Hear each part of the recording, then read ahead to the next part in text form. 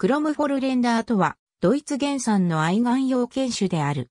グリフォンタイプ及びテリアタイプの犬の血を引くが、狩猟は苦手である。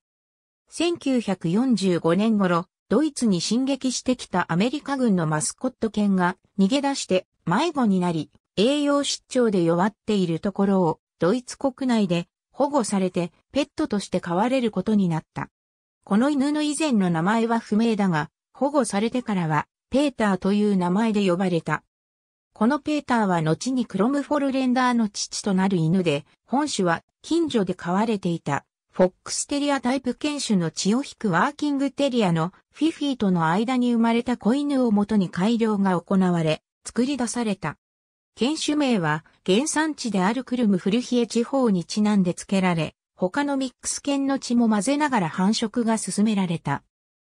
1955年には、フシーに公認犬種として登録され、ドイツ国内でも知名度が上昇したが、現在でも数の少ない犬種で、ほとんどは原産国のドイツとその周辺国でしか飼育されていない珍しい犬種である。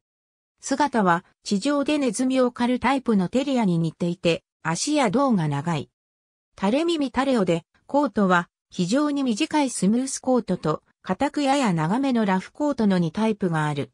毛色はホワイト地に茶色のブチが入ったものなどがある。体高38から46センチメートル、体重11から16キログラムの中型犬で、性格は活発でまな情け深い。ありがとうございます。